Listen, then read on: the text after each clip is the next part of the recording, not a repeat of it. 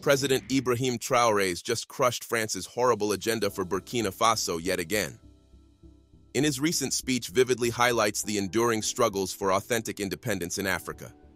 He critiques the superficial nature of previously granted freedoms, denounces the betrayal by complicit local leaders, and condemns the ongoing exploitation of Africa's vast resources. His address is a call to arms against the persistent neo-colonial forces that have long manipulated and hindered Africa's progress. Traoré emphasizes the need for a united front and heightened vigilance among African nations as they strive to reclaim control over their destiny. The journey toward true independence is complex and laden with obstacles. Despite these challenges, the resilient spirit of the African populace is evident as they continue to push forward, inspired by the prospect of genuine sovereignty and self-determination. Invoking divine guidance, Traoré envisions a continent on the verge of a new era, one that is shaped by the collective efforts and unwavering determination of its people. In his speech, Traoré calls for a revolution, not just in political terms but also in the consciousness of the African nations. He stresses the importance of dismantling the neo-colonial systems that have perpetuated dependency and exploitation.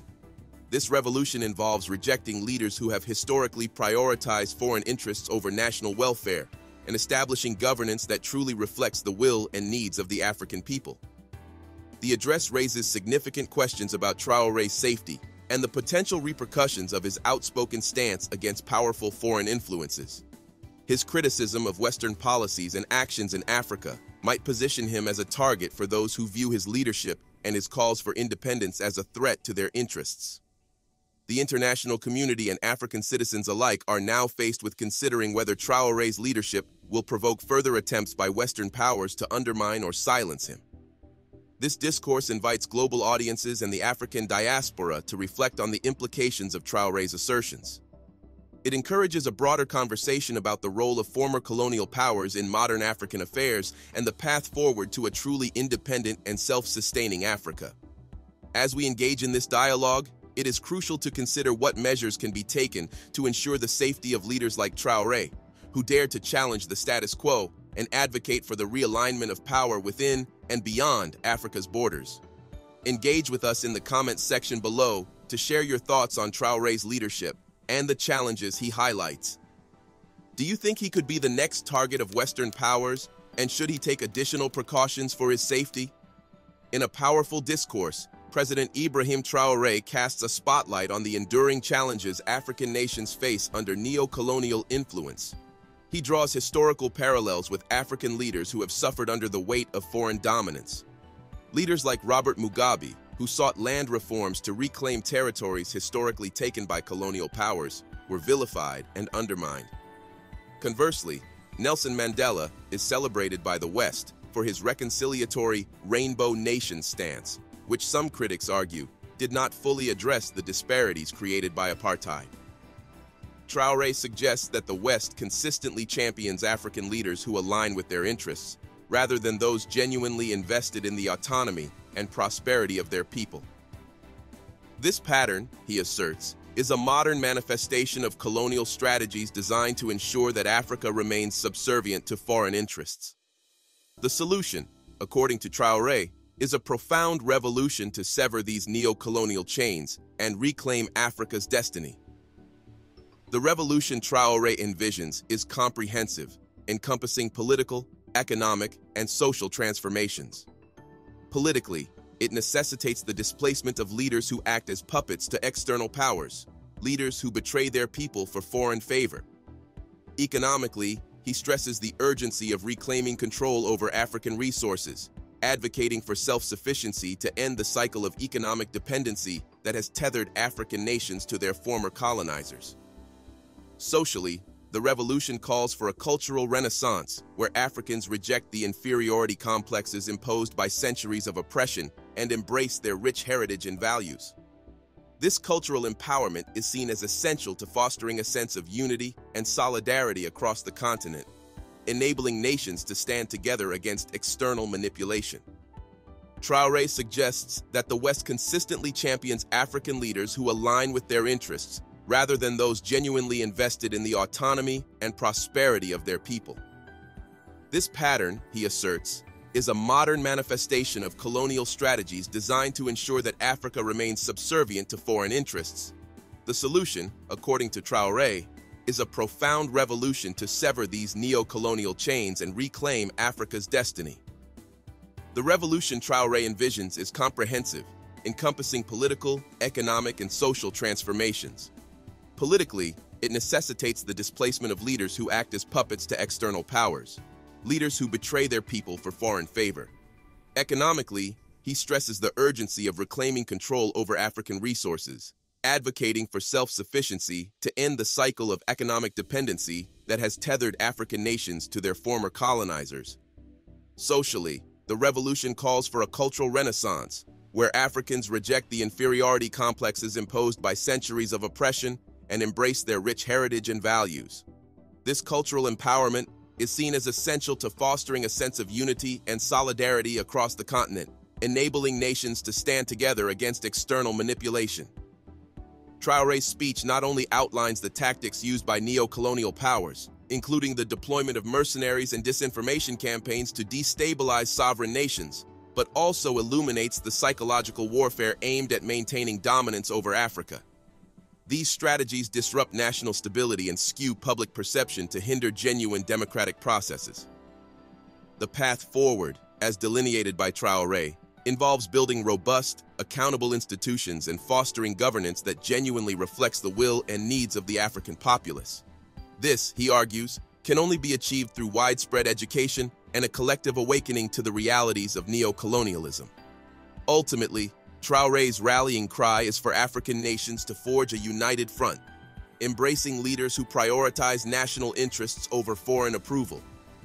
The goal is to catalyze a continent-wide movement towards true independence, a reclamation of rights, resources, and self-determination that defies the long-standing exploitation by foreign powers. In his incisive commentary, President Ibrahim Traoré illuminates the complex dynamics of neo-colonial influence in Africa, highlighting how foreign powers maintain their dominance through a variety of overt and covert strategies. He identifies the use of mercenaries to foment instability and chaos as a primary tactic. These mercenaries, often employed by neo-colonial entities, destabilize nations to justify foreign interventions, thereby preserving their control over African political and economic landscapes. This practice erodes national sovereignty and perpetuates dependency and violence within the continent. Traoré also exposes the manipulation of information as a critical tool in the neo-colonial arsenal. Disinformation campaigns spread misleading narratives and false information to divide societies and weaken local resistance to foreign dominance. These strategies not only distort public perception, but also hinder the pursuit of genuine independence. Traoré stresses the importance for African nations to cultivate their own media platforms to counteract these campaigns and foster a cohesive vision for their future.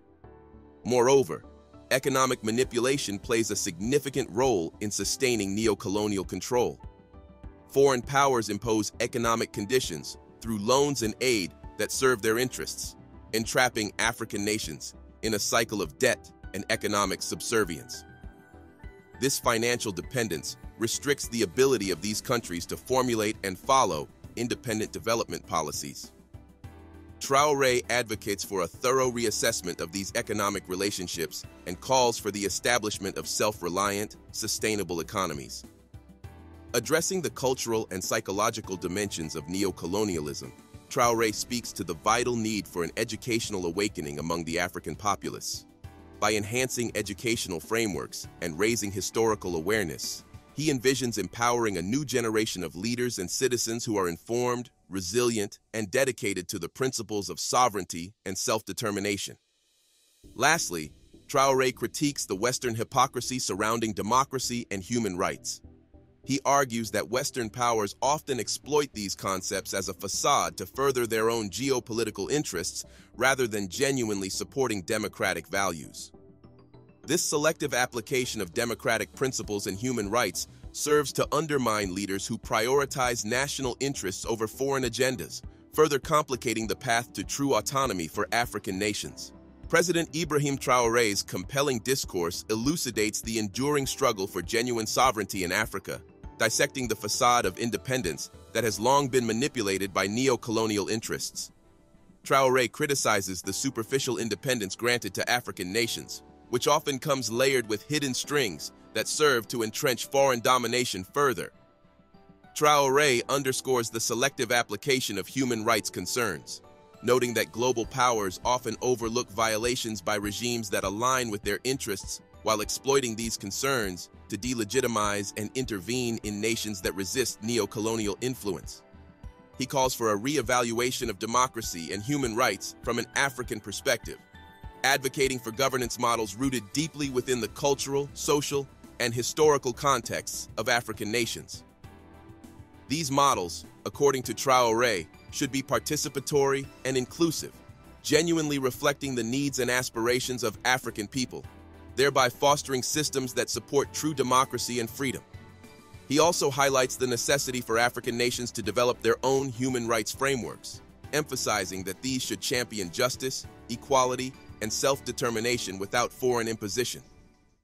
On June 26, 2023, Niger's assertive declaration of sovereignty marked a critical point in Africa's liberation journey, resisting foreign interference and reclaiming control over local resources. This bold move, although met with opposition from neo-colonial agents, symbolizes the growing resolve among African nations to forge their paths towards independence. The formation of the African Economic and Security AES architecture on September 16, 2023, further exemplifies significant strides towards regional cooperation and self-reliance. The AES aims to develop a comprehensive framework addressing finance, economy, infrastructure, health, and education, setting the foundation for sustainable development and true sovereignty. Traore emphasizes the crucial role of unity and collective action in this journey, urging African nations to support each other against neo-colonial tactics. He stresses the importance of strengthening regional alliances and fostering a sense of community to enhance resistance to external pressures. Moreover, Traore advocates for the development of strong, accountable institutions capable of governing and managing resources effectively. He calls for transparent political systems, robust rule of law, and good governance to ensure that African societies are just, equitable, and reflective of their people's values and aspirations. President Traore's vision for a new dawn in African sovereignty is not merely about reclaiming political and economic control, but also about building a society that truly represents the interests and welfare of its people. He sees this as a fight not just for the present, but for future generations, aiming to end the cycle of dependency and exploitation perpetuated by neo-colonial powers. His call to action resonates with a clear message. The time for African nations to stand together and reshape their destiny is now. Thanks for watching till the end. If you enjoyed it, please leave a like as well as a sub so more people can see this video.